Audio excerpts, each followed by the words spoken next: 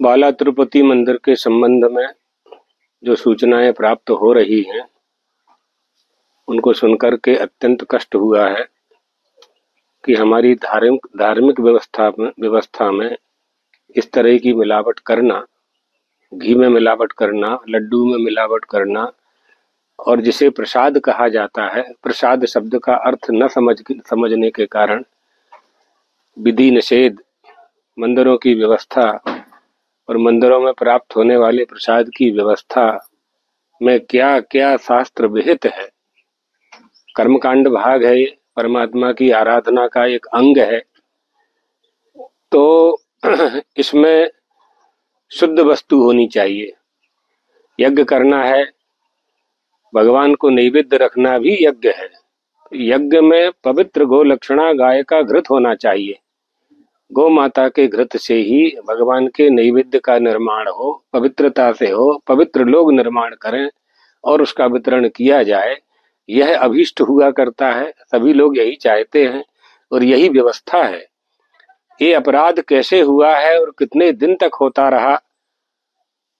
वहाँ के जो संचालक हैं, उन लोगों ने क्यों ध्यान नहीं दिया? इन सब बातों पर बहुत विचार करने की आवश्यकता है।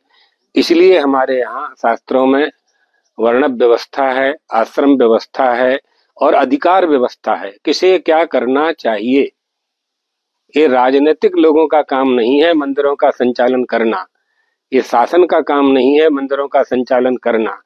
जिनका ये विषय है, धर्म का विषय है, उसका निर्णय धर्माचार्य देंगे। पुजारी कैसे होने चाहिए? कौन से मंत्र होने चाहिए? किस भगवान के लिए किस मंत्र का उपयोग किया जाए, उनके नैवेद्य की व्यवस्था क्या होगी, उनके लड्डू के, फूल के, तुलसी, बेल बिल्व पत्र सबकी व्यवस्था का अलग अलग निर्देश है। इसके लिए प्रामाण्य बुद्धि वेदेशु साधना नाम अनेकता। साधना में अनेकता है, लेकिन सभी के लिए प्रमाण तो वेद ही है, शास्त्र ही प्रमाण है।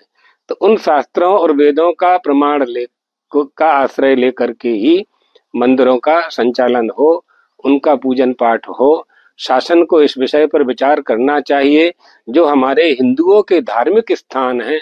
धर्म के केंद्र, ये तो हिंदुओं हिंदुओं के, हिंदू के मुख्य बिंदु हैं, मुख्य केंद्र हैं।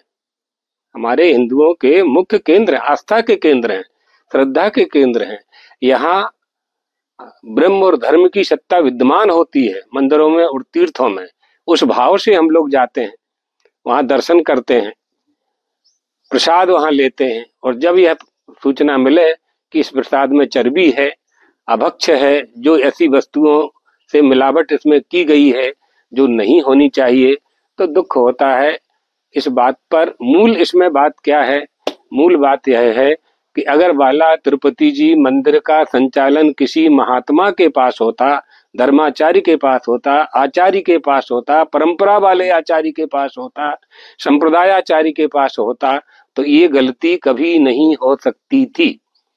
ये तदर्थ इन सब में सुधार होना चाहिए, मालूम करना चाहिए कि वह मिलावटी घी कहाँ से आया।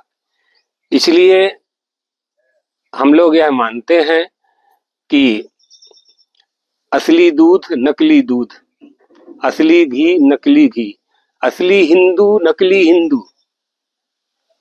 ये भी आवश्यक है जानना, कौन असली हिंदू है, कौन असली धर्माचारी है, कौन असली पूजा करने वाला अर्चक है, जिसे पूजा पाठ और शास्त्रों का ज्ञान है। और जो वहाँ व्यवस्थापक हैं, वो मंदिर की संपूर्ण विधि के ज्ञाता हैं कि नहीं है? ये जान करके ही उनकी नियुक्ति की जानी चाहिए। जो भी वहाँ के संचालक हैं, जिनके संरक्षकत्व में उस मंदिर का संचालन हो रहा है, वो भूल सुधार करें और भविष्य में ऐसा कभी ना हो और जिन्होंने ऐसा किया है, उनको दंडित किया जाए, ये अपेक्षा, इस अपेक्षा के साथ हम चाहेंगे कि भगवान द्वारकाधीश और भगवत पादाद्य शंकराचार्य जी महाराज सब सभी सनातन धर्मावलंबियों को सद्बुद्धि प्रदान करें For exclusive and insightful videos, subscribe to our new channel ABP Live Premium.